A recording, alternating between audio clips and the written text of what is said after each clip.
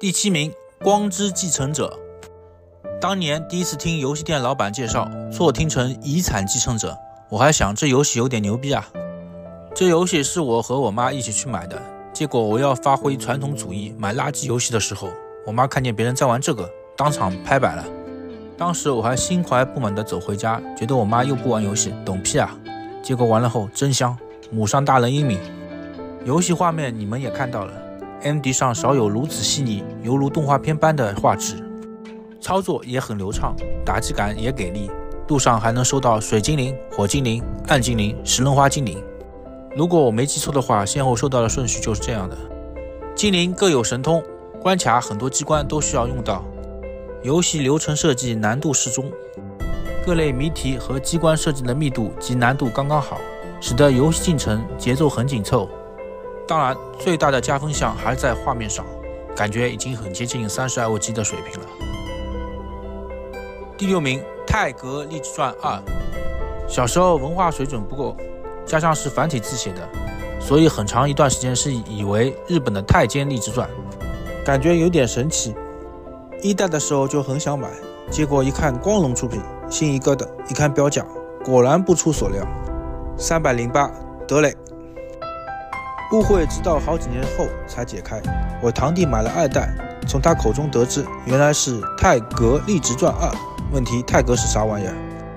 游戏我大概总结下，就是起点典型小白爽文套路，一个长相猥琐、身高不足一米五，外号叫猴子的穷小子。成为了一统日本的大名，区别就是这是历史上的真实，甚至现实中这猴子还发动了朝鲜战争，准备一统东亚，想迁都北京，自己在宁波养老。这猴子名叫丰臣秀吉。第五名，《怒之铁拳三》。由于之前买了一打垃圾双人清关游戏，所以后期挂个 MD 游戏也就不买这种类型的。这游戏是我堂弟买来的。玩过后，两人抱头痛哭，感叹道：“终于在家用机上玩到能媲美街机的动作清关游戏了。游戏连招手感极佳，必杀技种类繁多，还有不少隐藏要素可供玩家反复探索。加上多结局的设定，MD 第一动作清关游戏，有人有意见吗？有意见的请留言告诉我。双人打到最终 BOSS 时，两人都要选择是否投靠 BOSS，一人选是，一人选否。”最终战就是两个玩家 PK，两人都选否，就是要一起干掉 BOSS；两人都选是，就触发被 BOSS 收下当狗的结局。另外，游戏流程有三个 BOSS 能被招降，感觉有点像把我前面几集介绍的《双截龙三》和《吞噬天地二》的特点结合了起来。第四名，《梦幻模拟战二》又是款经典中的经典，二代是该系列的巅峰。后续的第三代把系统全部推翻，变成五十对五十，但战略性很差。四代、五代是完全回归到二代的系统，战斗画面改为十个小人对十个小人。